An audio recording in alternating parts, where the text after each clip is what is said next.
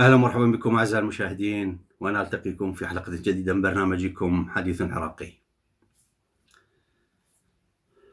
في زيارة محمد الشياع السوداني رئيس الوزراء الحالي إلى ألمانيا الأخيرة التي انجرت في الأسبوع الماضي. جرى حديث أو ظهرت أخبار تحدث عن إنه هو عقد اتفاقات مع شركة سيمنس الألمانية بشأن الكهرباء. وبدأ الحديث بدأت الطبول بدأت هذه ال...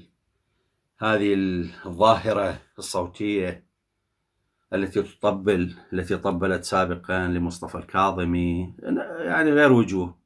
بس نفس الإطار واللي طبلوا قبل لعبد المهدي وقبل حيدر العبادي وللمالكي ولغيره ولعلاوي. بس أيضا وجود هذه الأفواه وهذه الطبول بدأت تتحدث وبدأوا يعني يكبرون الأمور. واحدة من النائبات يعني تابعت لإحدى الميليشيات قالت إن السودان يعالج الأخطاء وهذا يتطلب وقت لنضوجها. واليوم نراه في ألمانيا لإكمال مشروع خارطة الطريق. الله أكبر. مشروع خارطة الطريق للطاقة في العراق من قبل شركة سيمنز. المتوقف هذا خارطة الطريق المتوقفة هي بسبب خبث شركة جنرال إلكتريك الأمريكية التي تريد الظلام للعراق كما فعلت في الأعوام 2018-2019 طبعا هذا الكلام مفهوم. يعني يعني هي هاي شركة جنرال إلكتريك هاي الأمريكية هم الأمريكان يعني هسه هم اللي منعوكم هم اللي مخ شوادم ما هم الأمريكان هم اللي جابوكم للحكم. يعني أنتم تنسون لو تحتاجون إلى تذكيركم دائما. يعني وجودكم بالحكم من له الفضل في بقائكم لحد الآن غير أمريكا؟ هي أمريكا اللي هي تتآمر عليكم ليش؟ ما أنتم جايين لمشروع لتدمير العراق مشروع احتلالي تخريب وتدمير العراق وبقاء ضعيف وهيمنة إيران عليه ما هو هذا المشروع؟ أما أن تتحدثون أمريكا تتقشمرون العالم العالم بعد ما تتقشمر. العالم بعد ما تتظلل ولا ممكن هذا كذبكم يمشي عليها. والله أمريكا مرادت يعني مثل هادي العامري ونوقف قال ما إحنا ما نسوي خدمات لمحافظات الجنوبية لأنه إحنا أتباع الحسين. ما يقبلون صهيوني وأمريكا. كلام عيب. معيب هذا. لا أرهاب بيها ولا وأنتم تحجون. ولا بيها شيء. ليش ما قدمتوا لهم خدمات؟ ليش ما سويتوا لهم مستشفى؟ ليش ما سويتوا لهم مدارس؟ ليش ما بلطتوا لهم شارع؟ ليش ما هذه كذبة. اليوم آه تقارير تتحدث إنه محافظات الجنوب ستشهد كارثة وتشهد كارثة الآن يعني درجات الحرارة ترتفع. سينتهي الشتاء والآن الشتاء كله فيضانات ومصايب.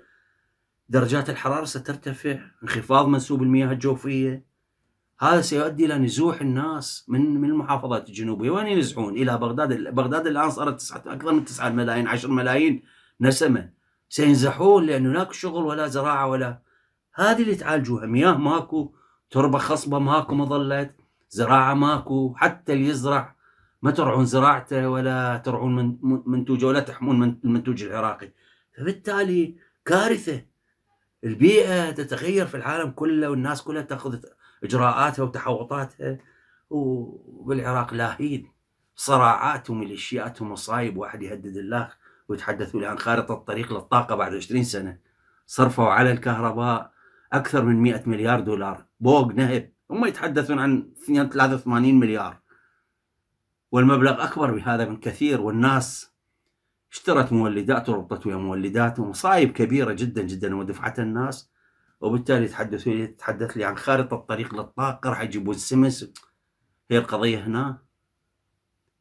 هي القضية هنا لو القضية تحتاج إلى بناء تحتية إلى بناء إلى ازدهار إلى ثقافة إلى تعليم إلى صحة جيدة. هذه المصيبة.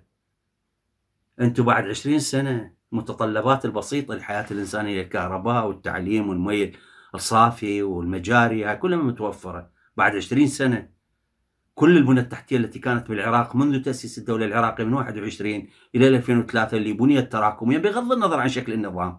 بنيت بناء تراكمي كلها هدمتوني هذا يدلل على أنه لديكم مشروع تخريب العراق تدمير العراق. هذا واقع الحال. بطالة في أعلى مستوياتها والفقر في أعلى مستوياته الأمية في أعلى مستوياتها هذا واقع الحال. والله العراق آه، هذه جنرال الكتريك تآمرت علينا.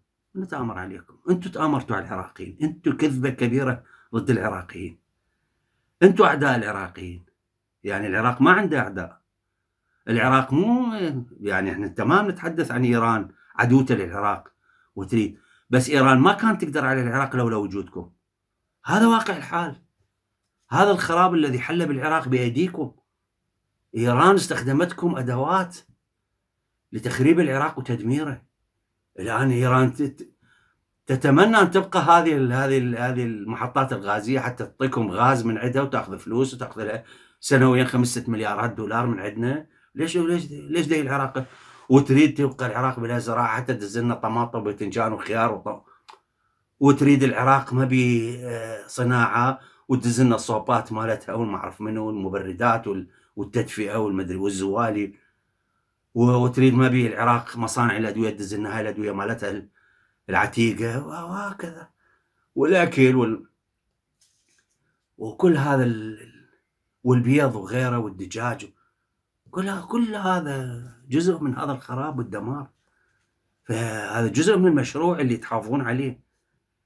فبالتالي راح السوداني وسوى هذه مرتبطة بإطار عام بنظام عام.